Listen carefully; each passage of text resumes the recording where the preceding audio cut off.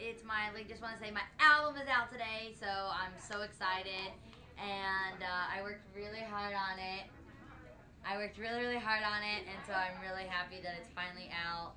And I love that the record is like old school, you know, where you get like the lyrics and the thingy, so you can sing along. And yeah, so I hope you guys like it.